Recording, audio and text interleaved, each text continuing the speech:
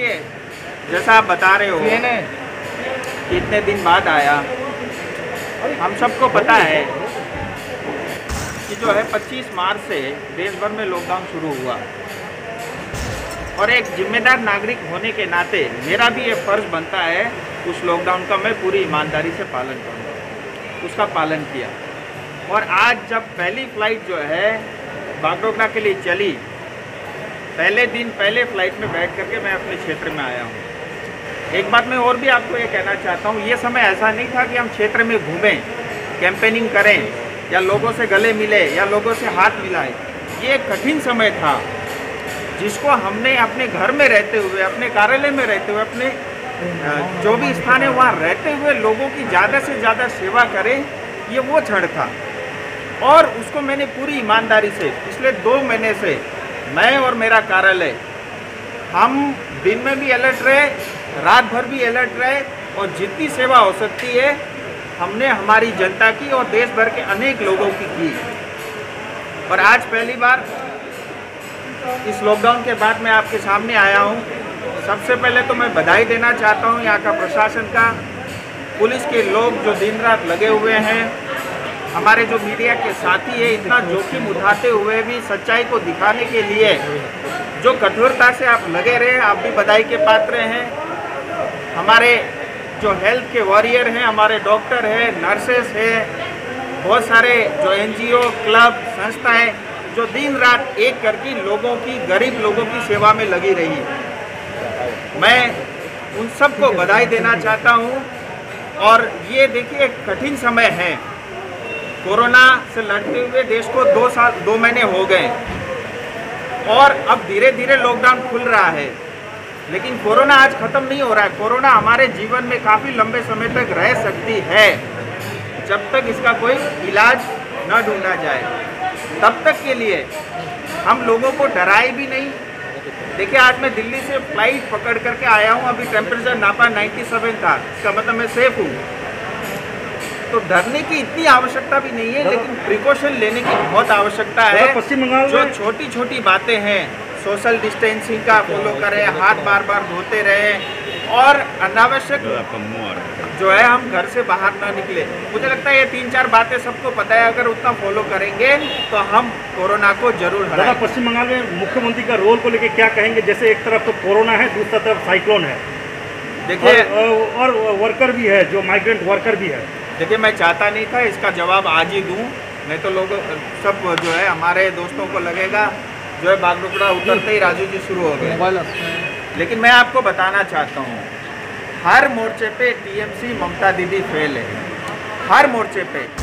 पहला कोविड 19 को जिस तरह से पूरा देश आज लड़ रहा है इसका जो गहराई को जो है मापने में पश्चिम बंगाल की सरकार नाकाम रही। और सबसे ज़्यादा डेथ रेट जो है पश्चिम बंगाल की है।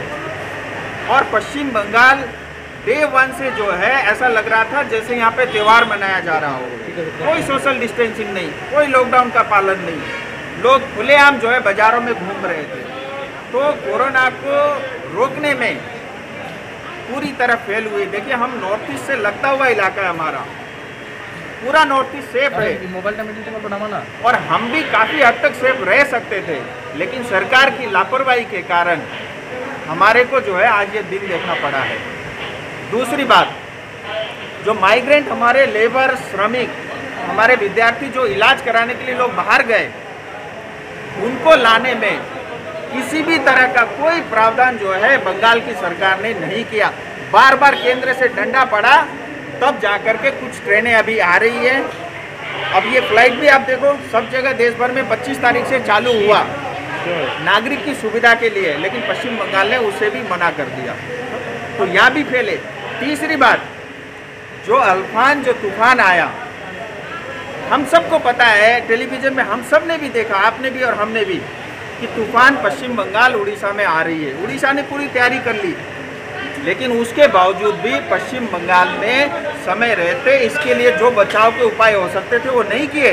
और आज मुझे बड़ा दुख के साथ कहना पड़ता है कि भारतीय सेना की आर्मी साढ़े तीन सौ जो है जवान आज कलकत्ता महानगर इलाके में जो है पेड़ काटने के काम में लगे हुए हैं। आप अंदाज़ा लगा सकते हैं कल आर्मी होनी चाहिए दुर्गम स्थान के लिए जहाँ यातायात की सुविधा न हो जहाँ पहुँचना बहुत कठिन हो।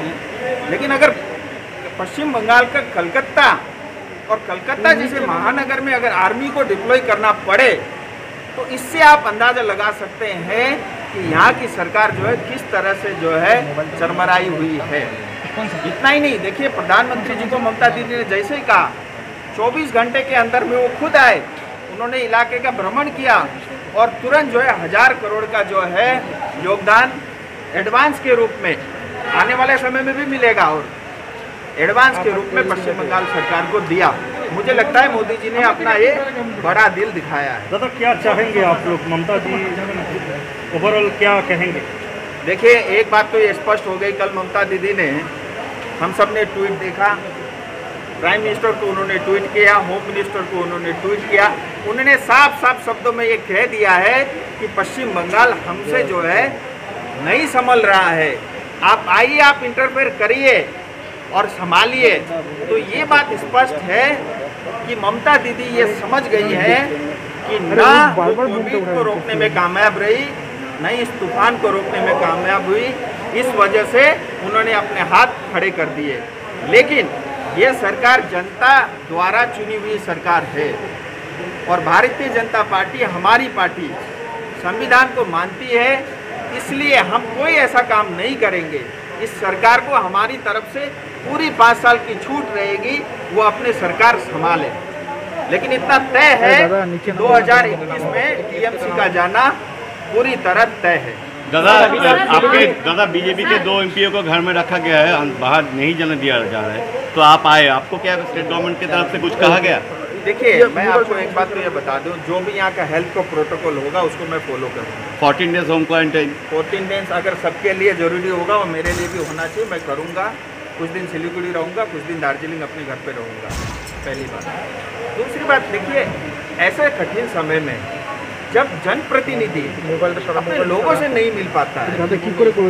मुझे लगता है टीएमसी सरकार उन प्रतिनिधि के साथ जो है क्राइम कर रही है। और मैं पार्टिकुलरली दार्जिलिंग की बात करूँ हिल्स की बात करूँ दार्जिलिंग कॉरपोरेशन ये हमारा दुर्भाग्य है यहाँ जो जनप्रतिनिधि यानी जनता से चुने हुए लोग नहीं जिसको ममता दीदी बिठाती है उसके द्वारा जो है यहाँ शासन चलाया जाता है। मुझे लगता है ये लोगों के साथ अन्याय है। थैंक यू सर जब आप दिल्ली में थे और सिलीगुड़ी में आपका जगह जगह पे पोस्टर लगा हुआ था जहाँ वो लिखा गया था कि आप मिसिंग हो तो इस पर आप क्या कहना चाहेंगे? देखिए ये नौटंकी है टीएमसी की।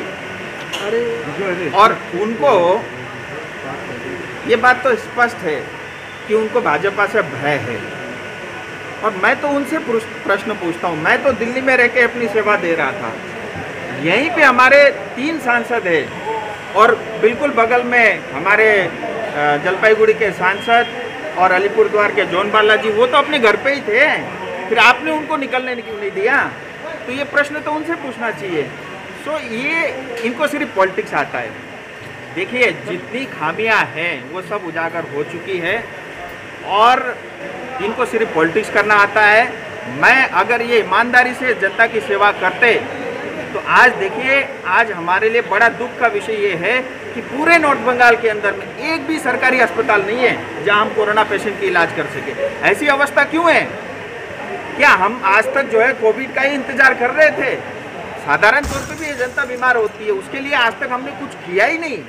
तो ये बात स्पष्ट होती है कि इनको सिर्फ़ जो है पॉलिटिक्स में रहते हुए पैसा कमाना है इसके अलावा इनका और कोई भी उद्देश्य नहीं है। सर आपका आगे का प्लान क्या है? देखिए मैं वही बोला कि अभी जैसा भी हेल्थ का प्रोटोकॉल होगा वो मेरे पे भी लागू होगा। और मैं अपने डीएम से भी बात करूँगा दार्जिलिंग के डीएम से। तो मैं कोशिश करूँगा कुछ दिन होम क्वारंटाइन सिलीगुड़ी में रहूँ कुछ दिन